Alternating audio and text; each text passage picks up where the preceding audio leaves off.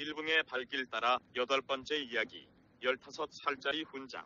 엉뚱한 질문을 자주 하여 스승을 곤란하게 만들던 경보가 15세가 되던 해에 소당의 훈장 선생님이 신경통으로 자리에 눕게 되었다. 자리에 눕게 된 스승이 어느 날 경보를 불러 소당의 훈장을 맡으라고 부탁했다. 경보야 내가 몸이 아파 더 이상 공부를 가르칠 수 없게 되었으니 내가 나를 대신하여 서당을 끌어갔으면 좋겠구나. 아니 될 말씀이옵니다. 어서 빨리 병을 떨치고 일어나셔서 저희들을 계속하여 배움의 길로 이끌어 주십시오. 스승님은 곧 일어나실 수 있을 것입니다. 아니다. 내 병은 내가 안다. 다시 일어난다 해도 전처럼 너희들을 호통치고 가르칠 만한 힘이 나지 않을 것이다. 그러니 경보 내가 이 기회에 훈장을 맡았으면 한다. 스승님 저는 아직 글도 짧고 나이도 어려 훈장을 맡을 수 없는 처지입니다. 제발 쾌차하셔서 저희들을 다시 가르쳐 주십시오. 아니다. 내가 보기에는 내가 이미 나의 수준을 넘어선 것 같구나. 글 공부는 나이로 하는 것이 아니란 것은 경보 너도 잘 알고 있지 않느냐?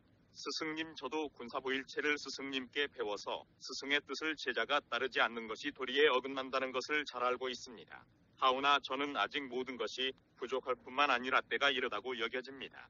또 가장 중요한 마음의 준비가 전혀 없는 상태입니다.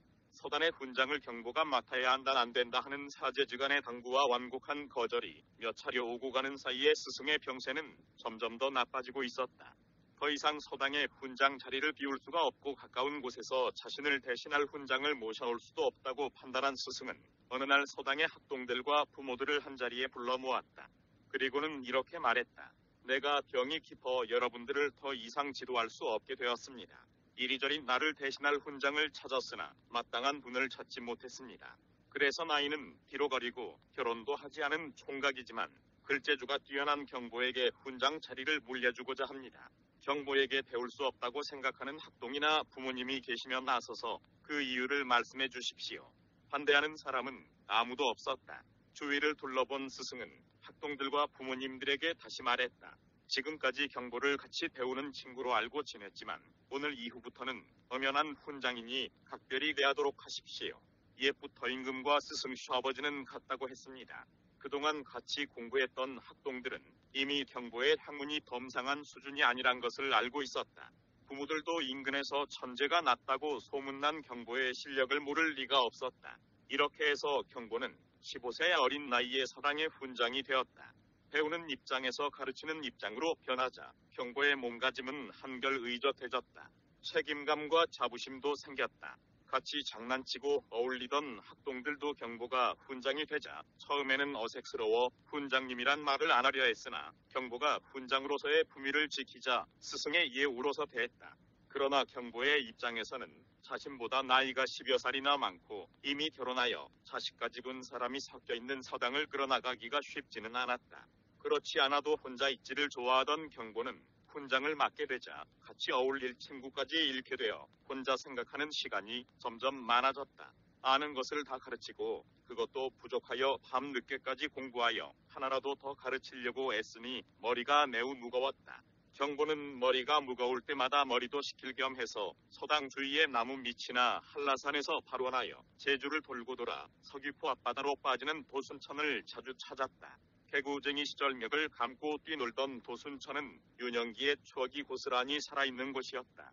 화강암과 현무암이 고루 바닥에 깔린 도순천은 북은 마을 소년 소녀들의 놀이터로 여름이면 헤엄치고 물장난을 치던 곳이었고 겨울이면 동백꽃이 곳곳에 피어있는 꿈의 강이었다. 경보가 혼자이 되자 누구보다 기뻐하고 축하해준 사람은 그렇게도 아껴주시던 할아버지였다.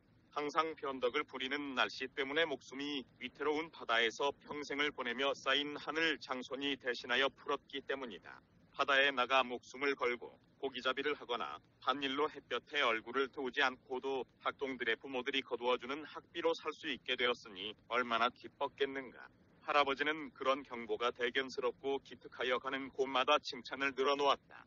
글 정리 이대 법원 관한뱅 단화 총사 학장 일붕의 발길 따라 여덟 번째 이야기 열다섯 살짜리 훈장 엉뚱한 질문을 자주 하여 스승을 곤란하게 만들던 경보가 15세가 되던 해에 소당의 훈장 선생님이 신경통으로 자리에 눕게 되었다.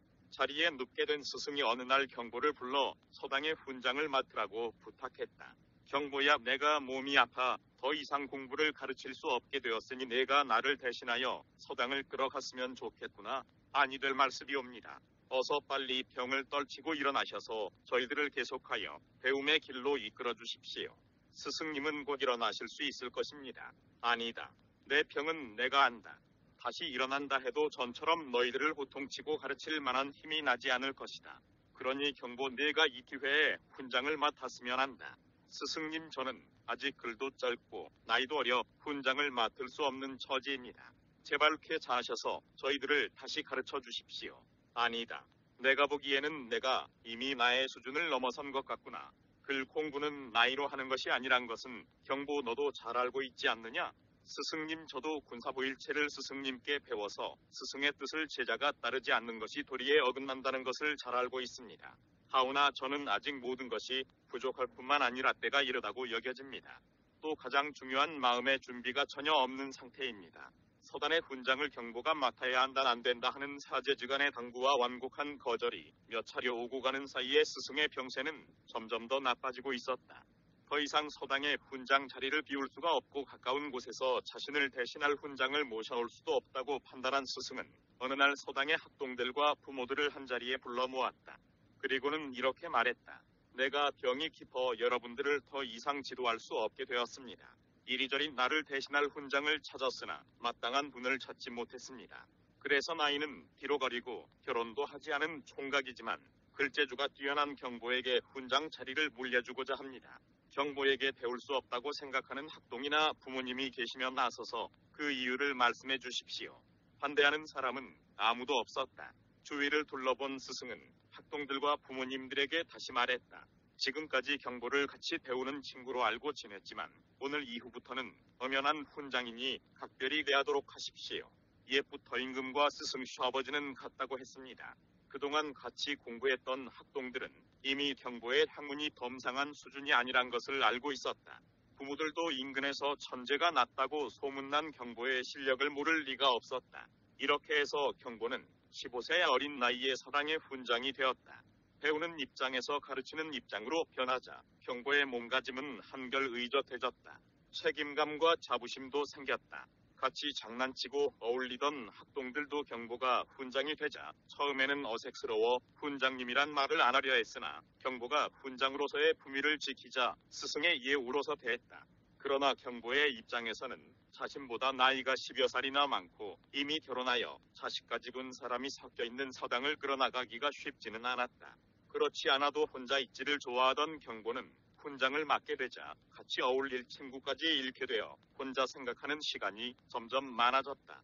아는 것을 다 가르치고 그것도 부족하여 밤 늦게까지 공부하여 하나라도 더 가르치려고 애쓰니 머리가 매우 무거웠다. 경보는 머리가 무거울 때마다 머리도 식힐 겸 해서 서당 주위의 나무 밑이나 한라산에서 발원하여 제주를 돌고 돌아 서귀포 앞바다로 빠지는 도순천을 자주 찾았다. 개구쟁이 시절 멱을 감고 뛰놀던 도순천은 윤영기의 추억이 고스란히 살아있는 곳이었다. 화강암과 현무암이 고루 바닥에 깔린 도순천은 북은 마을 소년 소녀들의 놀이터로 여름이면 헤엄치고 물장난을 치던 곳이었고 겨울이면 동백꽃이 곳곳에 피어있는 꿈의 강이었다. 경보가 혼자이 되자 누구보다 기뻐하고 축하해준 사람은 그렇게도 아껴주시던 할아버지였다. 항상 변덕을 부리는 날씨 때문에 목숨이 위태로운 바다에서 평생을 보내며 쌓인 하늘 장손이 대신하여 풀었기 때문이다. 바다에 나가 목숨을 걸고 고기잡이를 하거나 반일로 햇볕에 얼굴을 태우지 않고도 학동들의 부모들이 거두어주는 학비로 살 수 있게 되었으니 얼마나 기뻤겠는가. 할아버지는 그런 경보가 대견스럽고 기특하여 가는 곳마다 칭찬을 늘어놓았다. 글 정리 이대 법원 관한뱅 단화 총사 학장